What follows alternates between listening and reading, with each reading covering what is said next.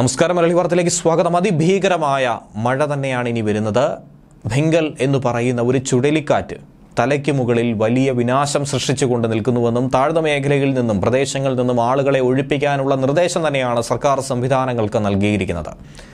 സ്കൂളുകൾക്കും മറ്റ് സ്ഥാപനങ്ങൾക്കുമൊക്കെ അവധി നൽകി. ന്യൂനമർദ്ദം ചുഴലിക്കാറ്റാകുന്ന സാഹചര്യത്തിൽ അതിശക്തമായ കാറ്റും മഴയും മുന്നിൽ കണ്ടുകൊണ്ട് എൻ ഡി ആർ എഫ് സംഘങ്ങളെയാണ് നിലവിൽ തമിഴ്നാട് സർക്കാർ വിന്യസിച്ചിരിക്കുന്നത്.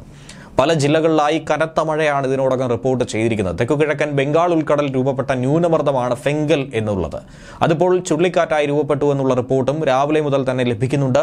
നിർത്താതെ തന്നെ പെയ്തുകൊണ്ടിരിക്കുന്ന അതിഭീകരമായ മഴയിൽ ചെന്നൈയിലെ ഒ എം ആർ റോഡ് ഉൾപ്പെടെ പല പ്രധാനപ്പെട്ട സ്ഥലങ്ങളും വെള്ളത്തിനടിയിലായി ഗതാഗത കുരുക്കിന് കാരണമാവുകയും ചെയ്തു. കാലാവസ്ഥാ മുന്നറിയിപ്പ് കണക്കിലെടുത്തുകൊണ്ട് ഏഴ് ടീമുകളെ എൻ ഡി ആർ എഫ് സംഘങ്ങളെയാണ് പല മേഖലകളിലായി വിന്യസിച്ചിരിക്കുന്നത്.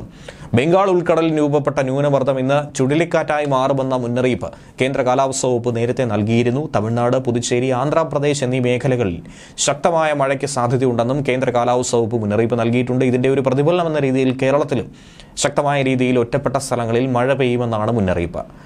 മയിലാടുംതുറൈ വില്ലുപുരം തിരുവള്ളൂർ നാഗപട്ടണം തിരുവാരൂർ എന്നിവ ഉൾപ്പെടെ പല ജില്ലകളിലെ സ്കൂളുകൾക്കും കോളേജുകൾക്കുമൊക്കെ ബുധനാഴ്ച ദിവസം അവധിയാണ് പ്രഖ്യാപിച്ചിരിക്കുന്നത്. പുതുച്ചേരിയിലെയും കാരക്കലിലെയും എല്ലാ സർക്കാർ എയ്ഡഡ് സ്കൂളുകൾക്കും കോളേജുകൾക്കുമൊക്കെ അവധി പ്രഖ്യാപിച്ചു കഴിഞ്ഞുവെന്ന് പുതുച്ചേരി വിദ്യാഭ്യാസ മന്ത്രി അറുമുഖം വ്യക്തമാക്കി.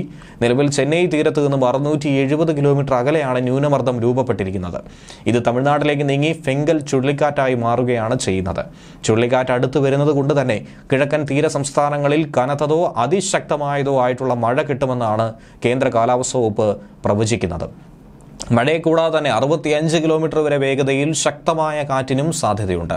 ചുഴലിക്കാറ്റ് മുന്നറിയിപ്പ് കണക്കിലെടുത്തുകൊണ്ട് തമിഴ്നാട് മുഖ്യമന്ത്രി എം കെ സ്റ്റാലിൻ വില്ലുപുരം മയിലാടുംതുറൈ ജില്ലാ മജിസ്ട്രേറ്റുമാരുമായി കഴിഞ്ഞ ദിവസം ഉന്നതതല യോഗം വിളിച്ചു ചേർത്തിരുന്നു. ഇതിനുവേണ്ട എല്ലാ സുരക്ഷാ നടപടികളും ഏകോപിപ്പിച്ചുകൊണ്ട് അദ്ദേഹം മുന്നോട്ട് പോകാൻ ഉത്തരവ് നൽകിയിരുന്നു. നാഗപട്ടണം തിരുവാരൂർ തഞ്ചാവൂർ കടലൂർ എന്നിവിടങ്ങളിൽ ആളുകളെ സുരക്ഷിത മേഖലകളിലേക്ക് മാറ്റാനുള്ള അവശ്യ നിർദ്ദേശങ്ങളൊക്കെ തന്നെ നൽകി കഴിഞ്ഞു. മഴ മുന്നറിയിപ്പ് കണക്കിലെടുത്തുകൊണ്ടാണ് എൻ ഡി ആർ എഫിന്റെ ടീമുകളെ പല മേഖലകളിലായി സംസ്ഥാനത്ത് വിന്യസിച്ചതും. ഇനി തെക്കൻ കേരള തീരത്ത് വെള്ളിയാഴ്ച വരെ മണിക്കൂറിൽ അൻപത്തിയഞ്ച് കിലോമീറ്റർ വരെ വേഗതയിൽ ശക്തമായ കാറ്റിനും മോശം കാലാവസ്ഥയ്ക്കും സാധ്യതയുണ്ട്. ഇരുപത്തി ഒൻപതാം തീയതി വരെ കേരള തീരക്കടലിൽ മത്സ്യബന്ധനത്തിന് പോകരുത് എന്നുള്ള മുന്നറിയിപ്പാണ് നൽകുന്നത്. ഒപ്പം കർണാടക ലക്ഷദ്വീപ് തീരങ്ങളിൽ മത്സ്യബന്ധനത്തിന് തടസ്സമില്ല.